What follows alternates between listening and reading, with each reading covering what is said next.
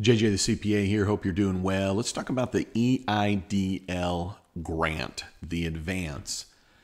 This is the amount that if you applied for the economic injury disaster loan directly with the SBA at sba.gov, there was a period of time that while you were waiting for that loan to process, there was a grant, an advance that was paid. It was $1,000 per employee up to $10,000. I've done a number of videos on this. That no longer is the case if you're applying for the EIDL because that pool of money ran out of money.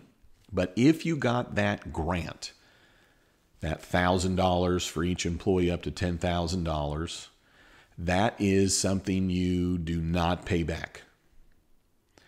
There's no way to pay it back. Now, we know that, as I've talked about it in other videos, that if you got the EIDL Advance grant, regardless of the timing, you do have to reduce down your PPP forgiveness by that amount. Now, if that's news to you, I'm putting a link to a video where I talk about that in length. Look in the body of this video. The purpose of this video is to drive home some questions that I had based on a recent video that I posted about PPP forgiveness creating a tax adjustment. So, if you're not familiar with that, I'm going to put a link to a playlist talking about the PPP tax effect.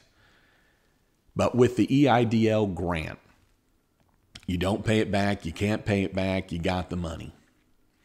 It will reduce down your deductible expenses in 2020. Period.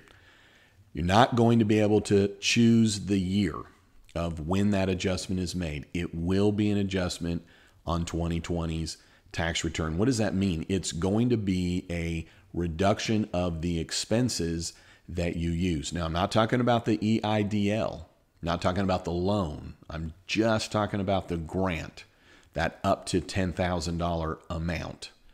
That is a reduction of expenses.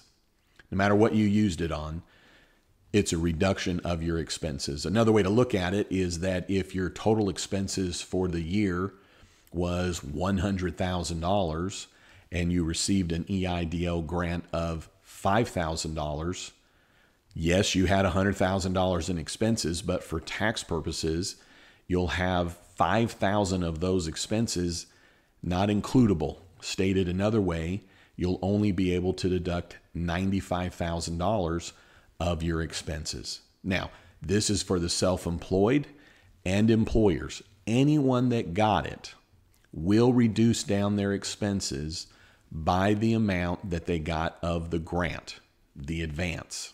Same thing.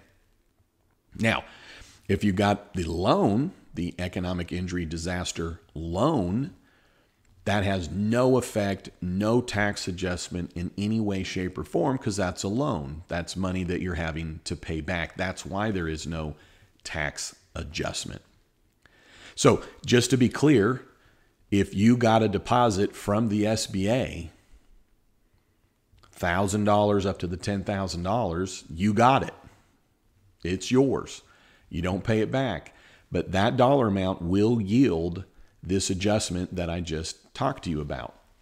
Now, what's the difference between the advance and the grant and the loan? Okay. The advance and the grant are the same thing. They're just terminology. The advance and the grant, exact same thing, 1000 up to 10,000. The difference of those items, that one thing that has two different terms, and the loan is that if you got the EIDL loan, you would have known it because the SBA would have emailed, said, go to this portal. You would have logged in to a portal online. You would have indicated that you wanted to accept the loan and to what dollar amount. They would have then done an identity check with you. They would have done a final approval of it. They would have sent you loan documents. You would have signed those loan documents. You would have resubmitted them, and you would have had a separate deposit into your bank account for that loan amount. So that's how you would know the difference between the two as it relates. Well, did I get an EIDL advance slash grant?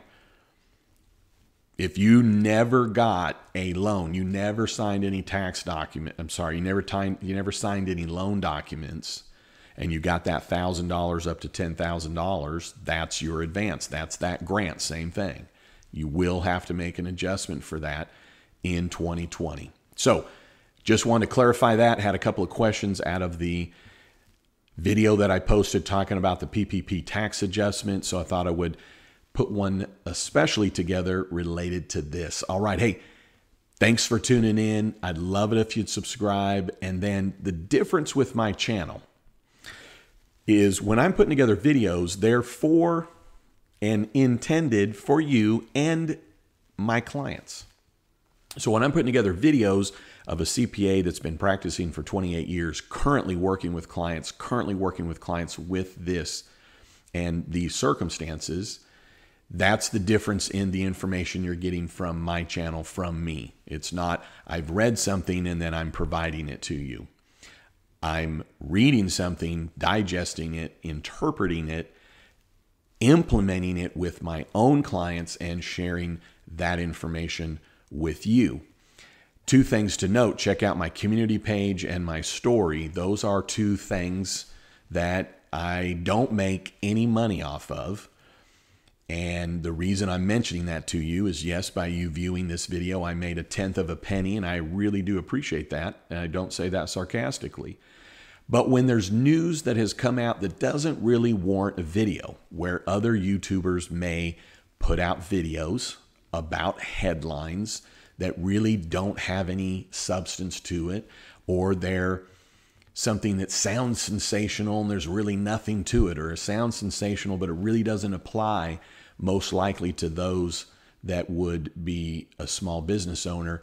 I'm putting that information on my story and on my community page on YouTube to give you a full sense of information. So be checking that out because as things come out related to stimulus negotiations that don't really necessarily warrant a video, check that out. There's a few things that have come out related to the IRS with some deadline stuff. I've put it in that. So you can go to the community page, which if you go to the main page of my YouTube channel, you'll see the community pop down.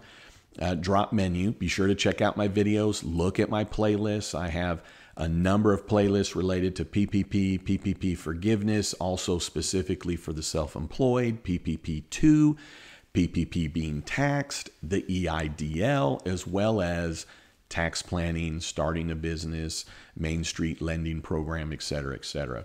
So thanks for tuning in. And I'll ask one more time. I'd love it if you'd subscribe because there's going to be a lot of stuff getting ready to happen related to the next stimulus package, year end a number of additional outlay of information, I'm assuming coming from the IRS, etc. All right, hey, don't you ever forget you've never met a CPA quite like me. Have a great day. I appreciate you.